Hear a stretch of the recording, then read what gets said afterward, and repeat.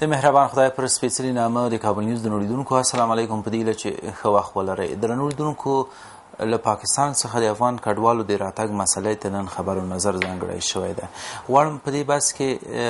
پر دې وغږیږم چې څومره افغان کډوال بیرته هیواد ته راستانه شوي دي د دوی ستونزې د کور دننه یعنی کله چې دلته راغلي دي څومره حل شوي دي دوی ته ځای امکان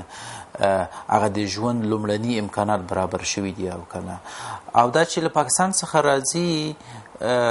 هلته له کومو ستونزو سره مخ دي داسې راپورونه هم خپاره شو کله چې دوی افغانستان ته یعنې خپل کور ته راځي نو هلته په یو پنډغاړي کې او یا هم په یو کمپ کې راټولیږي په ورځو ورځو دوی هلته ساتل کیږي ان دا چې د اوبو د اخیستلو لپاره څخه هم بهر نه پریښودل کیږي دا د هغو کډوالو خبرې دي چې په دې تازګۍ کې رسنیو ترې احوال راخیستی ده ان دا چې پرون یو بوډا زوړ افغان و چې پښه یې ژوبله شوې وه او ویل چې ما ته اجازه نه راکوي تر څو زه لاړ شم ځان ته درمل واخلم او یا هم د خپله پښه ډاکټر ته ور وښیم دا چې هلته افغان کډوال له کومو ستونزو سره مخ دي البته د راتګ پر مهال او دلته چې کله راځي له کومو ستونزو سره مخ دي او یا دا چې دا ستونزې څومره حل شوي په ټوله کې او څومره افغان کډوال راغلي هغه مسایل دي چې نن یې له خپل درانه میلمه د کډوال د چارو وزارت د مطبوعاتي برخې له سراکار ښاغلي میاخیل صاحب سره بحث لرم ستاسو ملتیا هم غواړم میاخیل صاحب سړي مو شي ښه راغلاست سلامت لومړی پوښتنه به مې همدا وي چې یو کمپاین هم پیل شو مونږ په باسونه درلودل چې خپل وطن ګل وطن لومړي ځل لپاره که دغه ډول یو ښه هڅه پیل شوې د افغان کډوالو د بیرته راتګ لپاره که څومره افغان کډوال رښتیا هم خپل هیواد ته راغلي دي ډیره مننه زه هم لمړی تاسو او بیا د کابل نیوز تلویزیون لیدونکو ته خپل سلامونه او نیکی هیلې وړاندې کوم د کډوالو راستنول د حکومت له کاري لومړیتوبونو څخه دی او حکومت هڅه کوي ترڅو د هیوادوالو د راستنولو زمینه برابره کړي له همدې امله د کډوالو او راستنېدونکو چارو وزارت له یو شمېر نورو ادارو سره په ګډه کار کوي تر څو له پاکستان، ایران څخه زموږ د هېوادوالو د راستنولو لارې چارې برابرې کړي. په تېرو اوو میاشتو کې یعنې د دوه زره او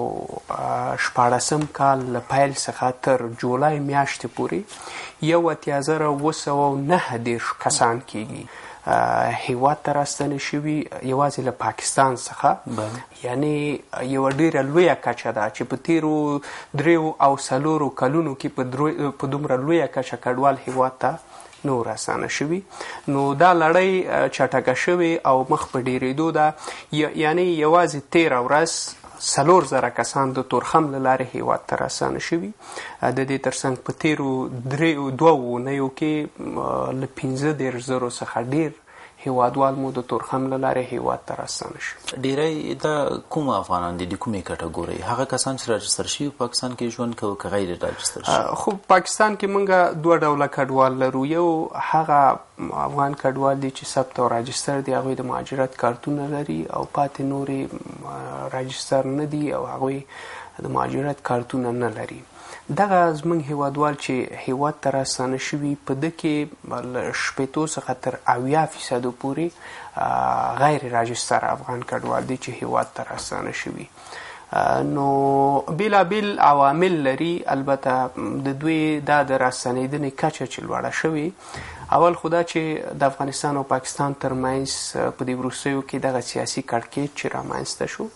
په اړیکو کې ستونزې رامنځته شوې نو دا مسایل زموږ د هیوادوالو پر ژوند هم هلته اغیز وکړ او هلته زموږ هېوادوال له ستونزو سره مخامخ شول د دې ترڅنګ د کډوالو او راستنېدونکو چارو وزارت هڅه وکړه چې د خپلو نمایندګیو له لارې چې په خیبر پښتونخوا او یو شمېر نورو ایالتونو کې دي یو سرتاسري کمپاین پیل کړي د افغان کډوالو د راستنولو د تشویق په موخه. زموږ استازي هلته ځي، په کمپونو کې د مهاجرینو له مشرانو سره ګوري او دوی یې دې ته تشویقوي تر څو خپل هېواد ته راستانه شي، دا یې بل دلیل و. همدارنګه نړیوالې مرستې هم ډېرې شوې، د کډوالو او راستنېدونکو چارو وزارت له خپلو نړیوالو همکارانو سره په ګډه له تېرو څو میاشتو راهیسې هڅه پیل کړه تر څو د دوی د راستنولو د تشویق په موخه له دوی سره مرستې ډېرې کړي نو مخکې هغه افغان کډوال چې راجستر و دوی د مهاجرت کارتونه درلودل که هر کس هیواد ته راستنېده هغه ته د 200 امریکایي ډالرو په اندازه مرسته کېدله اوس دغه مرستې دوه چنده شوې یعنی هر افغان چې هیواد ته راستنېږي او هغه د مهاجرت کارت ولري له هغه سره د 300 امریکایي ډالرو په اندازه مرسته کېږي د دې تر څنګ یو شمېر نورې ادارې دي هم شته چې دوی ته خدمات وړاندې کوي دي ښه تاسو ویل چې له شپېتو تر اویا فیصده هغه کسان دي چې غیر قانوني هلته یعنې راجستر شوي نه وه یعنې موږ دا ویلی شو چې ګویا تشویقي کار د دې لپاره څخه شوی دی یعنی راجستر شو کورنۍ ته مونږه دوه چند پیسې ورکو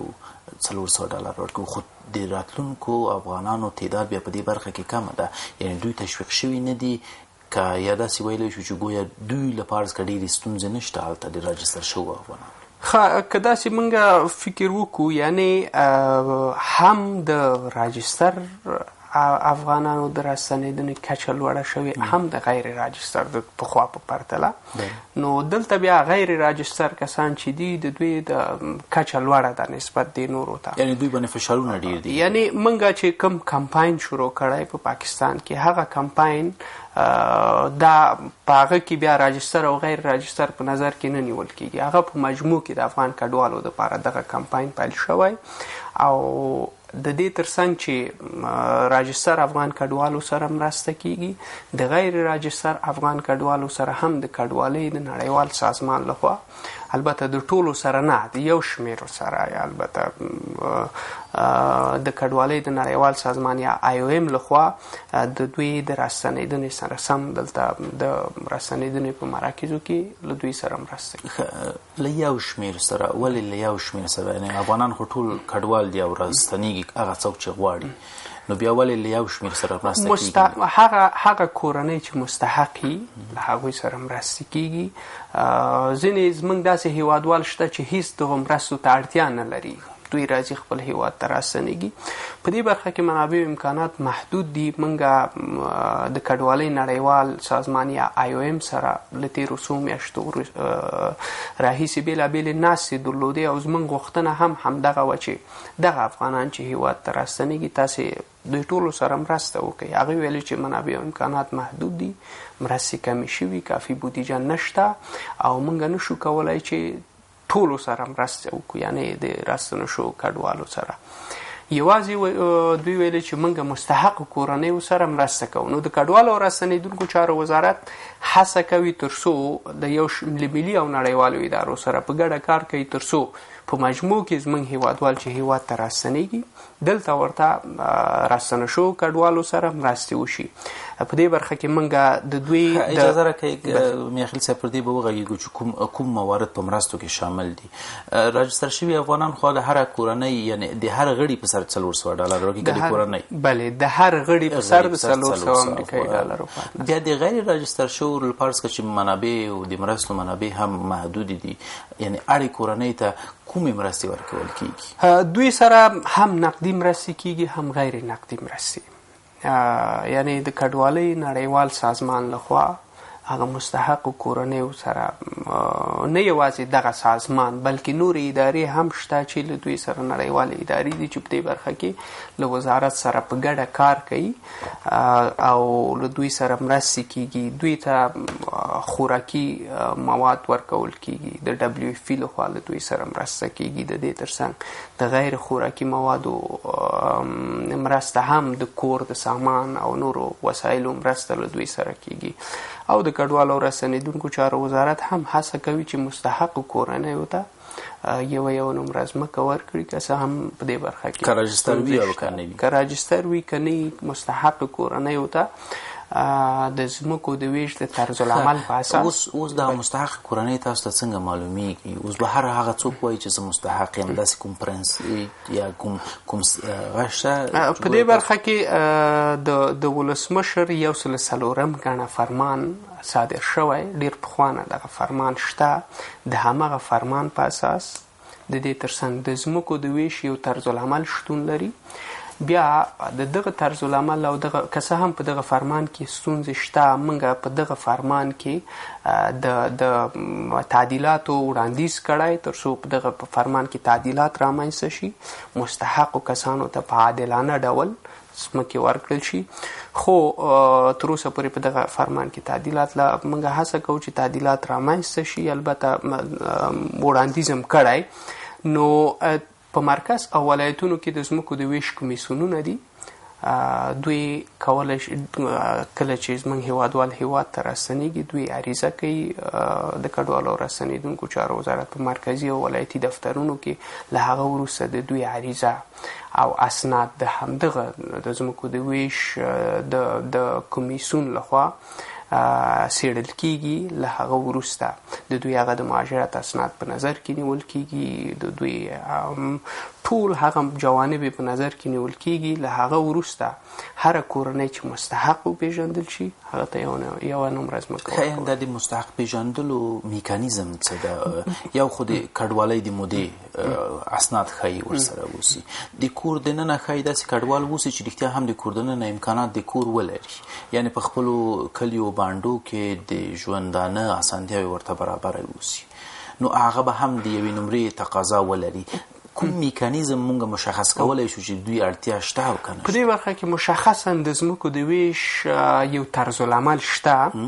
د همغه طرز العمل په اساس چې کوم کسان مشخص شوي چې کوم کسان مستحق پیژندل کیږي کوم کسان مستحق نه دي په هغه طرز العمل کې ټول دا مسایل واضح شوي یعنی حق حقدار ته رسیږي حق حقدار ته موږ هڅه کوو چې ورسیږي ځکه ستونزې شته په دې برخه کې په تیرو دیارلسو کلونو کې دا منو چې ستونزې وي یو شمیر مستحق کورنۍ او تزمکې نه دي ورکړل شوي یو شمیر خلکو خپل پیسې تحویل کړي یا ته زمکې نه دي ترلاسه کړي نو دغه مشکلات شته خو کله چې د وزارت رهبري نوې شوه په دې برخه کې د اصلاحاتو د راوستلو لپاره کار پیل شوی او موږ هڅه کوو چې دغه پروسه شفافه شي او په عادلانه ډول زموږ هیوادوالو ته نمرې وویشل اوس هم داسې شکایتونه له وزارت د وزارت له ادرس نشته چې ګویا اوس هم هغه کسانو ته نمرې نه ورکول کیږي چې رښتیا هم هغوی اړ کسان دي د هغوی پر نامه خپلو خپلوانو ته شناخته وته زوردارانو ته اندا چې ځینو کسانو بیا هم دغه ځمکې غصب کړي دي خېټه یې پرې اچولې ده او د ځمکو د غصب دا ستونزه شته یو شمېر ځمکې غصب شوي په دغه دوه شپېته ښارګوټي چې په نهه ویشت ولایتونو کې جوړ شوي په دغو ښارګوټو کې مشکلات شته امنیتي ستونزې شته انکشافي پروژې په دغو ښارګوټو کې نه دي تطبیق شوي یو شمېر زمونږ البته دغه شکایتونه تر ډېره د تېرو کلونو راهیسې مونږ ته پاتې دا شکایتونه مونږ په دې باندې کار کوو تر څو دغه پروسه شفافه شي او اصلاح شي دا وخت نیسي ځکه په نهه ویشت ولایتونو کې دوه شپېته ښارګوټي دي او زمونږ زرګونه او سلګونه زره هېوادوال عریضې کړي غوښتنه یې کړې د ځمکو په خاطر نو دا طبعا دا پروسه وخت نیسي او موږ هڅه کوو تر څو دا پروسه شفافه شي او په عادلانه ډول زموږ هیوادوالو ته هغه مستحقو کورنیو ته یوه یو نمره دغه په دوه شپېتو ښارګوټو کې څومره ښارګوټي فعاله دي په دوی کې دغه دوه شپېته ښارګوټي چې په نهه ویشت ولایتونو کې دي یعنې له نیمایي په حدود د نیمایي فعاله دي البته یو شمېر یې نه دي فعاله، یو شمېر ځمکې حتی وزارت ته نه دي انتقال شوي د د اراضي ادارې د خوانه نو په یو شمېر ښارګوټو کې انکشافي پروژې نه دي تطبیق شوي وزارت داسې کافي بودیجه او امکانات په اختیار کې نه لري چې په هغه ښارګوټو کې مکتب جوړ کړي، په هغه کې کلینیک جوړ کړي، په هغه کې سړک جوړ کړي، د هغه د برېښنا مسله ده، ښه نور مشکلات دي، له همدې امله. خپل وزارت خو به رښتیا هم چې ستونزمن وي چې هغه دې ګویا د برق پروژه هم تمویل کړي، خو دلته اړوند وزارتونه هم شته، زه فکر کوم چې ولسمشرۍ ماڼۍ اړوند وزارتونه هم له کډوالو چارو وزارت سره هم دلته مسؤل کړي دي چې ګویا د د کډوالو ستونزو د حل لپاره سره رسیدګي وکړي د بیلګې په توګه د صحت په برخه کې د کډوالو چارو وزارت وایي ماته د ځمکه را پیدا راوخي زه هر خرګوټي کې دلته د روغتيي اسانتیاوي رامنځته کولای شم یا د پوهنې وزارت او یا هم د برېښنا فکر نه کوي چې ګویا دا هغه خبرې دي چې ګویا د د ولسی جرګې د کوچیانو د کډوالو د چارو د کمیسون د استادو خبرې دي چې وزارت خپل پالیسی نه لري ترڅو هم دلته هغه مناسب ځایونه ورته په ګوته کړي یا هم د نورو وزارتونو ته له همغږۍ سره مرستې راچل ګوره په دې برخه کې موږ ډېرې هڅې کړي البته د راستنولو یو جامع پالیسی جوړه شوې یعنې د هغه پالیسۍ پر اساس موږ له پنځلسو وزارتونو او اووه خپلواکو ادارو سره په ګډه کار کوو. موږ له دوی سره بېلابېلې ناستې درلودې، نه تنها له دوی سره بلکې له نړیوالو ادارو سره تر څو مثلا په دغو ښارګوټو کې هغه انکشافي پروژې تطبیق شي. له همدې امله د دغه پالیسۍ پر اساس هره اداره ځانته مشخصه دنده لري او د دې ترڅنګ د کډوالۍ عالی کمیسیون د ولسمشر په مشرۍ باندې جوړ شوی او ولسمشر ټولو وزارتونو ته او او ټولو هغه ښکیلو ادارو ته سپارښتنه کړې ترڅو تاسو د افغان کډوالو د راتګ لپاره پوره چمتووالی ولرئ او دلته دننه په هیواد کې دوی ته اسانتیاوې برابرې کړئ له همدې امله موږ کار کوو، وزارت ډېره کمه